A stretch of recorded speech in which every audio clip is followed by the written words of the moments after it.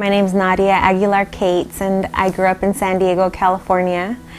I moved here to Provo when I was accepted to BYU and I stayed here since then. It's been almost 15 years. Uh, I'm a mother of six, five boys and one girl.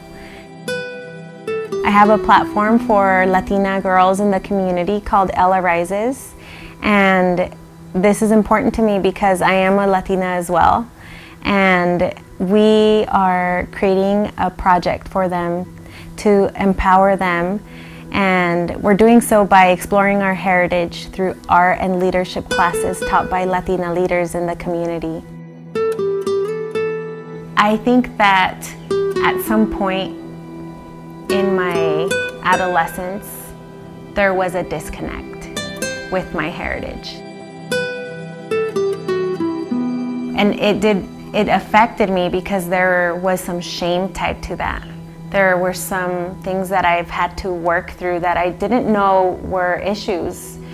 But in order to, to fully, to show up my most authentic self to the community, to my family, I needed to love all of me. And all of Nadia involves the Mexican part, the immigrant part, the first generation immigrant, the daughter of immigrants, the daughter of parents who learned English as um, a young girl.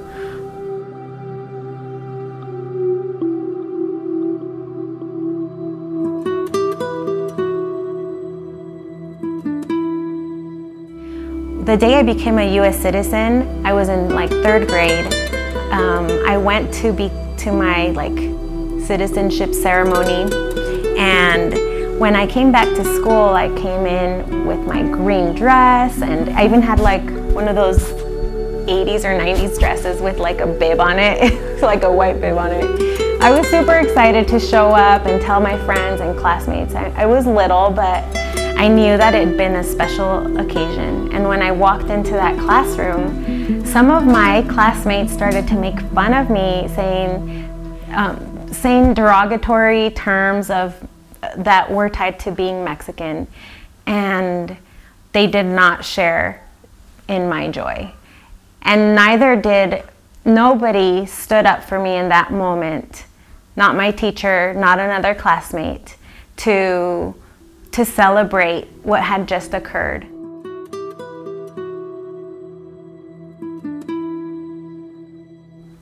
Ella Rises is important to me and one of the reasons why I felt like this was something that needed to be done is because I don't think there is a, a space for the Latinas, the Latina youth in our community to, to come together as women.